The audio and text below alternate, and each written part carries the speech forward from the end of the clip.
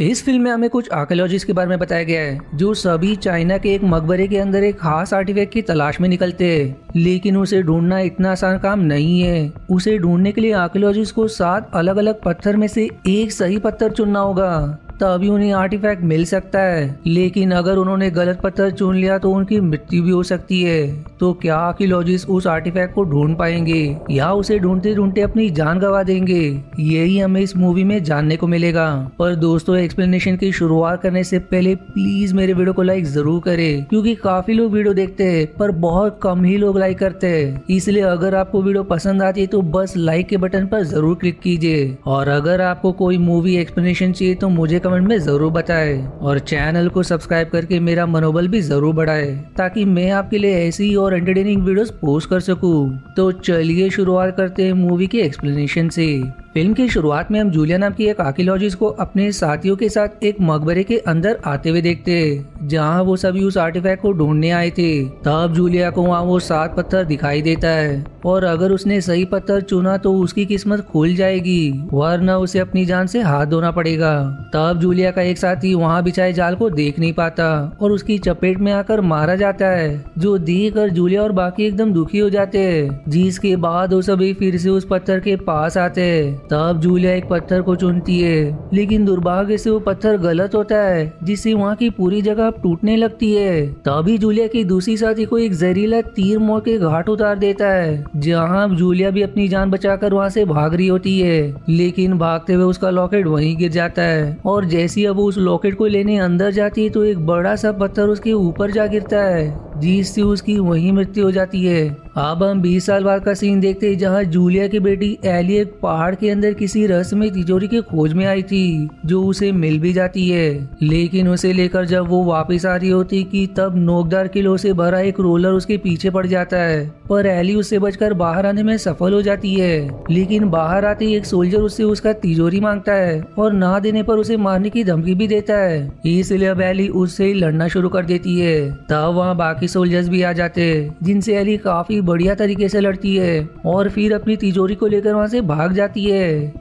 जिसके बाद वो उस तिजोरी को म्यूज़ियम को दे देती है, क्योंकि नई चीज़ों की खोज करके उसे म्यूज़ियम को देना ही एली का काम है। अब अगले सीन में इजाबेल नाम की एक लड़की एली के पास आती है, जो उसे एक बक्सा देकर कहती है कि इसमें तुम्हारे लिए काम है, जो इतना कहकर वहाँ से चली जाती है। और जब एली उस बक्से को खोलती है तो उसमें उसे जूलिया की किताब मिलती है, जो उसकी मृत्यु के बाद से लापता हो गई थी। अब ये देखकर एली भावुक हो जाती है।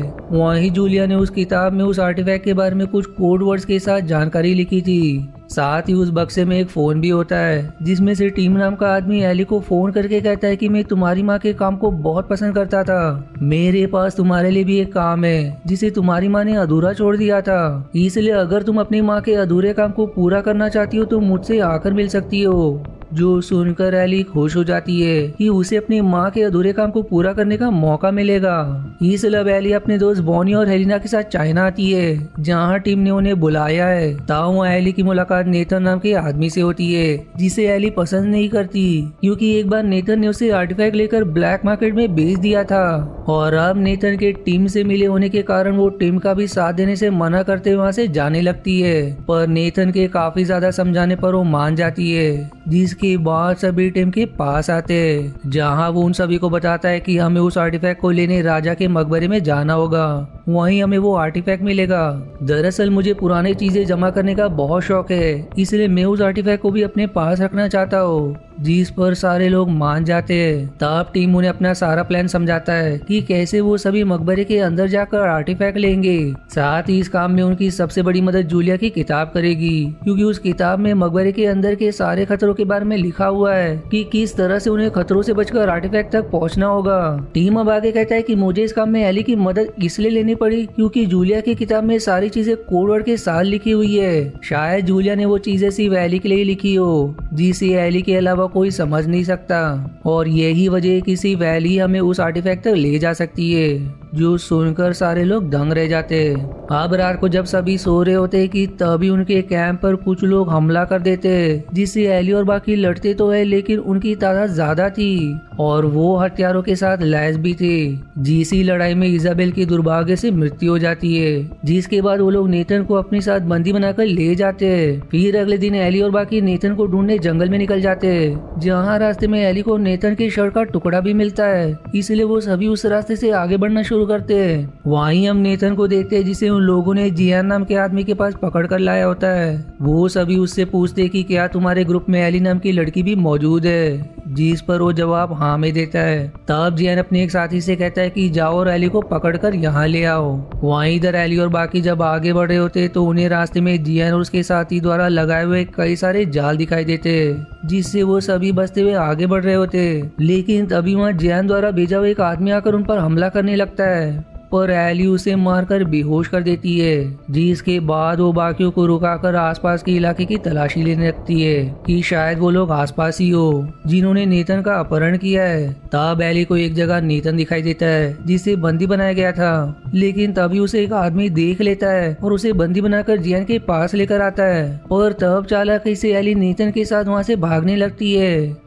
जहाँ अब जियान के साथ ही अब उसका पीछा भी करते हैं। लेकिन तब तक एली अपने बाकी साथियों के पास आ जाती है, जिसके बाद अब सभी आगे बढ़ने की तैयारी करते पर उनकी मुसीबत अभी टली नहीं थी, क्योंकि वहाँ जियान और उसके साथी आकर उन सभी को चारों तरफ़ से घेर लेते आप जियान एली से कहता है कि मैं कब से तुम्हें ढूंढ रहा था, क्योंकि तुम्हारी माँ मेरे ही कहने पर उस आर्टिफैक्ट को लाने के लिए मकबरे के अंदर गई थी, क्योंकि वो आर्टिफैक्ट हमारे लिए बहुत पवित्र है। हम उसकी रक्षा करते है। और जो भी अनजान इंसान यहाँ उस आर्टिफैक्ट को चुराने के इरादे से आता है, हम उसे मार देते है। और इजाबेल की मृत्यु गलती से हुई थी। हम उसके लिए माफ़ी मांगते तो क्या आप तुम हमारा साथ देकर उस आर्टिफैक्ट को लाने में हमारी मदद करोगी? जैसा तुम्हारी माँ करना चाहती थी, पर अब ये जानकर एली हैरान हो जाती है। लेकिन अपने माँ के अधूरा काम को पूरा करने के लिए वो मान जाती है। इसलिए अब अगले दिन सारे लोग उस मकबरे के लिए निकल जाते हैं। लेकिन अब रास्ते में टीम नेतन से कहता है कि मैंने तुम्हें इस काम के लिए रखा है कि तुम वो आर्टिफैक्ट मुझे ला कर दो। इसलिए मैं चाहता हूँ कि जैसी एली को वो आर्टिफैक्ट मिलेगा, तुम उससे वो छीन कर मुझे दे देना, जिस पर मजबूरन नेतन को मानना पड़ता है। क्योंकि एली की उसे बचाने के बाद वो उसे पसंद करने लगा था और वो उसे धोखा देना नहीं चाहता है। और अगर उसने टीम का साथ नहीं दिया तो वो उसे एक भी पैसे नहीं देगा।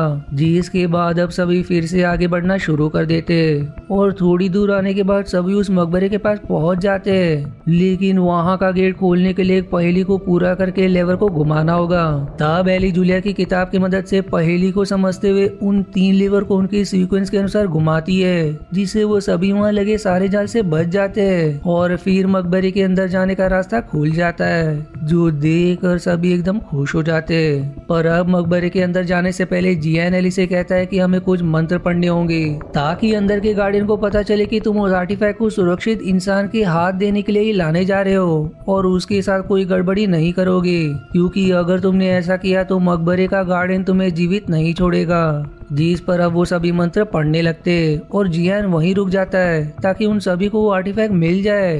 अब इसके बाद सारे लोग मकबरे के अंदर चले जाते, जहाँ हर तरफ़ जाल बिछे होते। लेकिन एली अपनी माँ की किताब की मदद से सारे जालों से बचते हुए आगे बढ़ रही होती है। पर दुर्भाग्य से एक जहरीली तीर बोनी को लग जाती है, जिससे वो बेचारा तड़पते हुए वहीं मारा जाता है। जो देखकर अली को काफ़ी बुरा लगता है कि वो किताब होने के बावजूद भी बोनी को जाल में फंसने से नहीं बचा सकी। लेकिन फिर भी बाकियों के कहने पर उसे आगे बढ़ना पड़ता है। आप थोड़ी दूर आने के बाद नेतन एली को सारी बात बता देता है, जो उसे टीम ने कहा है कि जैसे ही एली वो आर्टिफैक्ट ढूंढ लेगी, वो उससे चीन कर टीम को दे देगा। लेकिन नेतन कहता है कि मुझे टीम पर शक है। वो खाली यहाँ आर्टिफैक्ट नहीं, बल्कि किसी और चीज़ के लिए भी आया है। पर कुछ भी हो, हम आर्टिफैक्ट उसे नहीं देंगे, जिस पर एली मान जाती है। वहीं अब टीम एली से उसकी किताब लेकर खुद ही आगे चला जाता है। मानो वो किसी और चीज़ की तलाश में आया आया हो। इधर एली और बाकी दूसरी तरफ़ से आगे बढ़ रहे होते तब एक जगह एली को उसकी माँ का लॉकेट दिखाई देता है, जिसे लाने के लिए वो अंदर वापिस चली गई थी और उनकी मृत्यु हो गई थी।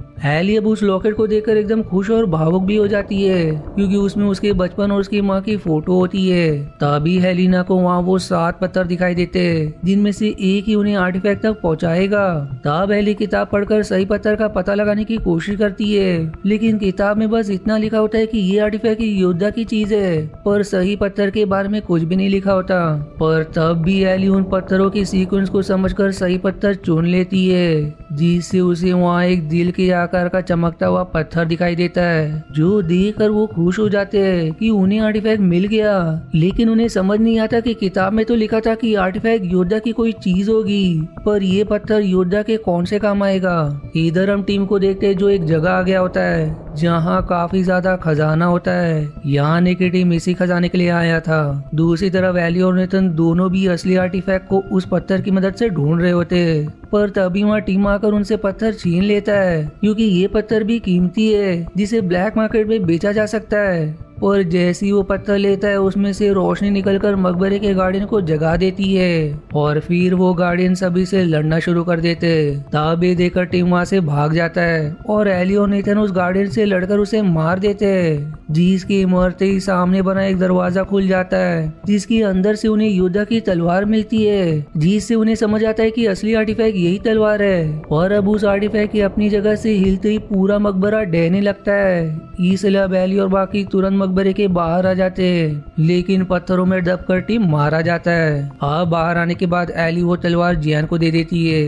जिसे पाकर वो उसका धन्यवाद करता है। और उन सभी से कहता है कि तुम्हें जो चाहिए वो मांग सकते हो, जिस पर एली कहती कि मुझे और मकबरे की तलाशी लेनी है, ताकि ऐसी और खोज कर सकूँ, जिस पर जियान उसे अनुमति दे देता है। और फिर इसी हैप्पी एंडिंग के साथ ये मूवी यहीं समाप्त हो जाती है।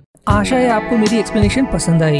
यदि हाँ तो प्लीज़ वीडियो को लाइक करना और चैनल को सब्सक्राइब करके सपोर्ट करना ना भूलें। मिलते हैं अगले एक्सप्लेनेशन वीडियो में। तब तक के लिए धन्यवाद दोस्तों।